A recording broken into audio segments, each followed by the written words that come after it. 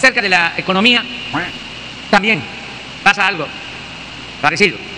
Quisieran que se desplomara por completo la economía nacional y no les está resultando.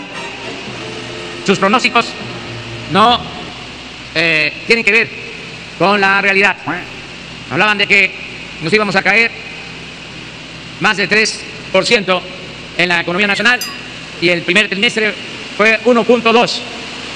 Hablaban de que el peso se iba a devaluar por completo, que se iba a depreciar.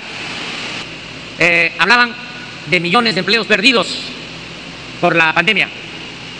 De acuerdo a los datos del Instituto Mexicano del Seguro Social, del INSS, en mayo se perdieron 550 mil empleos.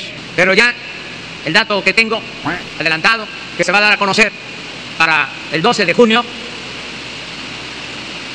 los números que tengo hablan de una disminución en la pérdida de empleos.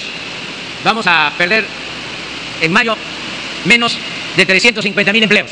Yo estimo que si nos va bien, no va a superar el millón de empleos perdidos eh, por eh, la pandemia.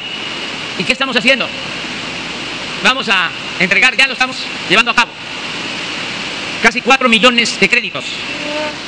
Ya llevamos entregados alrededor de 1.600.000 y se van a generar 2 millones de empleos nuevos.